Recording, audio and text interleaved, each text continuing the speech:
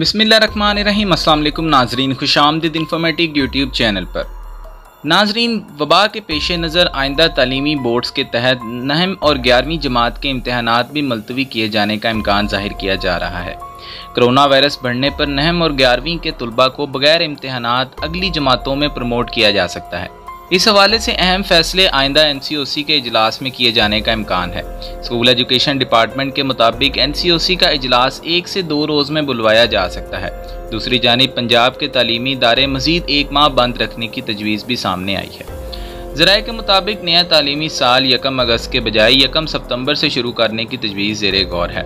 अहम फैसले national command and operation centre के आइंदा होने वाले इजलास में किए जाएँगे।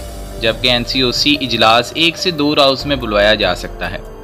वाजह रहे कि वज़ीर तालीम पंजाब मुराद रास ने पैगाम में कहा था कि पंजाब में स्कूलों में गर्मियों की छुट्टियों का आगाज़ यकम जुलाई से होगा और यकम अगस्त तक स्कूल बंद रहेंगे। उन्होंने वालदेन और बच्चों से दरख्वास्त की कि वो इन छुट्टियों में हुकूमत के जारी करदा एस ओ पीज़ पर अमल करें। तहम सर्विंग स्कूल एसोसिएशन पाकिस्तान ने स्कूल्स में गर्मियों की छुट्टियाँ देने के फैसले की शदीद मजम्मत कर दी थी।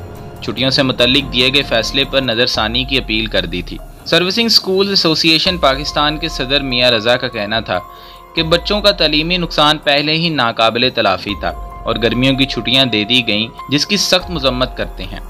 तो नाजरीन, इसी हवाले से हम आपको बताते चलें कि नहम और ग्यारहवीं जमात के इम्तहान भी कैंसिल करने के बारे में बड़ी पेशन गोई की गई है और इस हवाले से ज़्यादा इम्कान ज़ाहिर किए जा रहे हैं कि नौवीं और ग्यारहवीं के इम्तहान कैंसिल हो जाएँगे, क्योंकि दसवीं और बारहवीं के इम्तहान इस वक्त लिए जा रहे हैं और कुछ दिनों के बाद दसवीं और बारहवीं के इम्तहान ख़त्म हो जाएँगे।